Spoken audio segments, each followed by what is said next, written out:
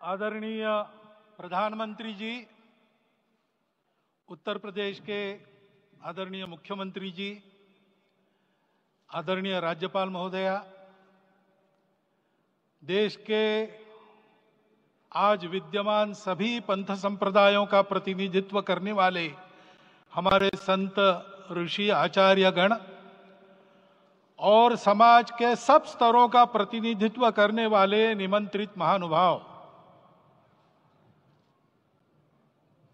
आज का आनंद शब्दों में वर्णनातीत है। और उसके वर्णन करने का प्रयास इसके पहले के वक्तव्यों में अच्छा हो गया है। यह भी बता दिया गया है और हम जानते भी हैं कि आज अयोध्या में रामलला के साथ भारत का स्व लौट के आया है।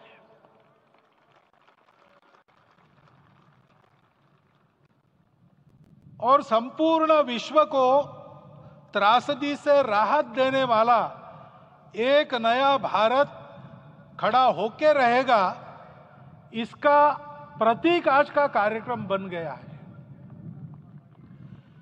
ऐसे समय में आपके उत्साह का, आपके आनंद का वर्णन कोई नहीं कर सकता। हम यहाँ पर अनुभव कर रहे पूर्ण देश में यही वातावरण है। छोटे छोटे मंदिर के सामने दूरदर्शन पर इस कार्यक्रम को सुनने वाले, हमारे समाज के करोड़ों बंधु, वहाँ पहुँच न पाए ऐसे घर घर के हमारे नागरिक सज्जन, माता भगिनी, सब भाव विभोर है, सब में आनंद है, सब में उत्साह है। और ऐसे समय में जोश की बातों में थोड़ी सी होश की बात करने का काम मुझे ही दिया जाता है। आज हमने सुना कि इस प्राण प्रतिष्ठा महोत्सव में पधारने के पूर्व प्रधानमंत्री जी ने कठोर व्रत रखा। जितना कठोर व्रत रखने को कहा था, उससे कई गुना अधिक कठोर व्रताचरण उन्होंने किया। मेरे पुराना उनसे परिचय है, मैं जानता हूँ, वो तपस्वी है ही। परंतु वो अकेले तप कर रहे हैं, हम क्या करेंगे? अयोध्या में रामलला आए। अयोध्या से बाहर क्यों गए थे? रामायण में क्यों गए थे बाहर? तो अयोध्या में कलह हुआ। अयोध्या उस पुरी का नाम है, जिसमें कोई द्वंद्व नहीं, जिसमें कोई कलह नहीं, जिसमें कोई दुविधा नहीं। वो हुआ चौदह वर्ष, वनवास में गए। वो सब ठीक होने के बाद दुनिया के कलह को मिटा के वापिस आए। आज रामलला वापस फिर से आए हैं 500 साल के बाद। जिनके त्याग, तपस्या, प्रयासों से ये सोने का दिन आज हम देख रहे सुवर्ण दिवस देख रहे उनका स्मरण प्राण प्रतिष्ठा के संकल्प में हम लोगों ने कहा, आपने सुना होगा। स्मरण किया। उनकी तपस्या को, उनके त्याग को, उनके परिश्रम को शत बार सहस्त्र बार कोटि बार नमन है। रामलला के यहाँ इस युग में आज के दिन फिर वापस आने का इतिहास जो जो श्रवण करेगा, वो राष्ट्र के लिए कर्म प्रवण होगा और उसके राष्ट्र का सब दुख दैन्य हरण होगा, ऐसे इस इतिहास का सामर्थ्य है। परंतु उसमें हमारे लिए कर्तव्य का आदेश भी है। प्रधानमंत्री जी ने तब किया, अब हमको भी तब करना है। राम राज्य आने वाला है, वो कैसा था?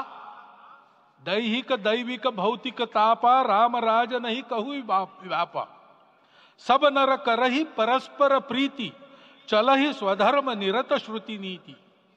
सब निर्दम्भ, धर्म रत पुनि, नर अरु नारी, चतुर सब गुनी। सब गुणज्ञ, पंडित सब ज्ञानी। सब कृतज्ञ नहीं, कपट सयानी राम राज्य के सामान्य नागरिकों का जो वर्णन है, हम भी इस गौरवमय भारतवर्ष की संतानें हैं। कोटि कोटि कंठ, उसका जयगान करने वाले हमारे हैं।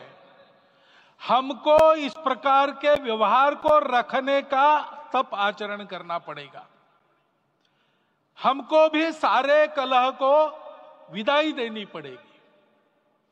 छोटे छोटे परस्पर मत रहते हैं छोटे छोटे विवाद रहते हैं, उसको लेकर लड़ाई करने की आदत छोड़ देनी पड़ेगी।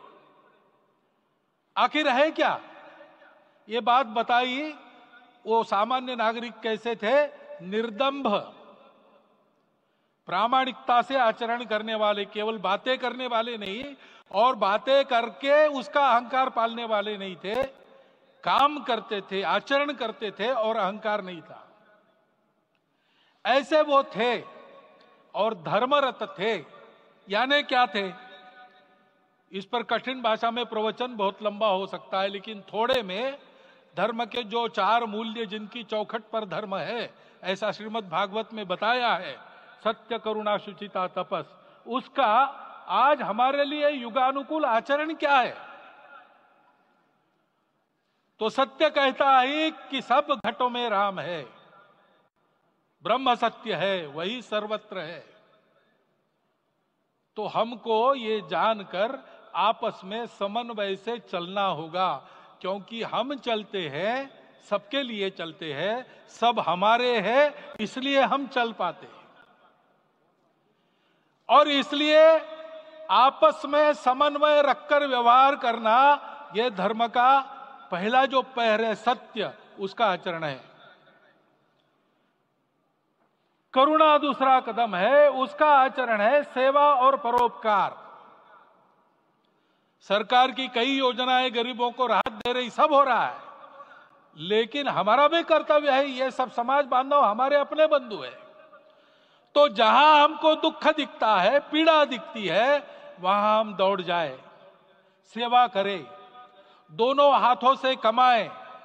अपने लिए न्यूनतम आवश्यक रखकर बाकी सारा वापस दे।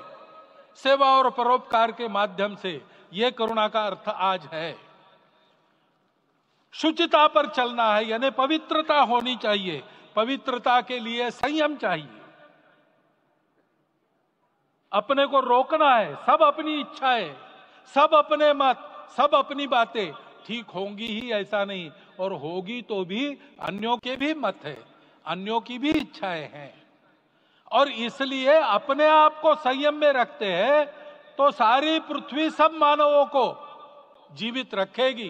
गांधी जी कहते थे earth has enough for every need but it cannot satisfy every greed तो लोभ नहीं करना, संयम में रहना और अनुशासन का पालन करना, अपने जीवन में अनुशासित रहना, अपने कुटुंब में अनुशासन रहना, अपने समाज में अनुशासन रहना, सामाजिक जीवन में नागरिक अनुशासन का पालन करना। भगिनी निवेदिता कहती थी कि स्वतंत्र देश में नागरिक संवेदना रखना और नागरिक अनुशासन का पालन करना यही देशभक्ति का रूप है। इससे जीवन में पवित्रता आती है और तपस का तो मूर्तिमान उदाहरण आपके सामने आज दिया गया। व्यक्तिगत तपस तो हम करेंगे, सामूहिक तपस क्या है? संगच्छध्वम संवदध्वम सम वो मनावसी जानता हम साथ चलेंगे, बोलेंगे आपस में, उसमें से एक सहमति का संवाद निकालेंगे, एक ही भाषा बोलेंगे। वो वाणी, मन मचन कर्म समन्वित होगा और मिलके चलेंगे, अपने देश को विश्व गुरु बनाएँगे। ये तपस हम सबको करना है। 500 वर्षों तक अनेक पीढ़ियों ने लगकर परिश्रम करके, प्राणों का बलिदान देके, खून पसीना बहाने, बहाकर आज ये आनंद का दिन सारे राष्ट्र को उपलब्ध करा दिया। उन सबके प्रति हमारे मन में कृतज्ञता है। मैं यहाँ बैठता हूँ तो मेरे मन में विचार आता है कि मुझे बिठाया, मैंने क्या किया? वो तो जो उन्होंने किया, उसका प्रतिनिधि भी मुझे बनाया गया है। उस प्रतिनिधि के नाते मैं ये अवदान स्वीकार करता हूँ और उन्हीं को अर्पण करता हूँ। परंतु उनका ये व्रत हमको आगे लेके जाना है। जिस धर्म स्थापना विश्व में करने के लिए राम का अवतार हुआ था, उस धर्म स्थापना को अनुकूल स्थिति अपने आचरण में, अपने देश में उत्पन्न करना, यह अपना कर्तव्य बनता है। रामलला आए हैं हमारे मन को आह्लादित करने के लिए, उत्साही करने के लिए, प्रेरणा देने के लिए साथ साथ इस कर्तव्य की याद दिलाकर उसमें कृति प्रवण करने के लिए आए हैं। उनका आदेश सर पे लेके हम यहाँ से जाए। सब लोग तो यहाँ आ नहीं सके, लेकिन वो सुन रहे देख रहे अभी इसी क्षण से इस व्रत का पालन हम करेंगे तो मंदिर निर्माण पूरे होते होते विश्व गुरु भारत का निर्माण भी पूरा हो जाएगा। इतनी क्षमता हम सबकी है। इसका मैं एक बार स्मरण देता हूँ, आप सबको धन्यवाद देता हूँ और मेरे चार शब्द समाप्त कर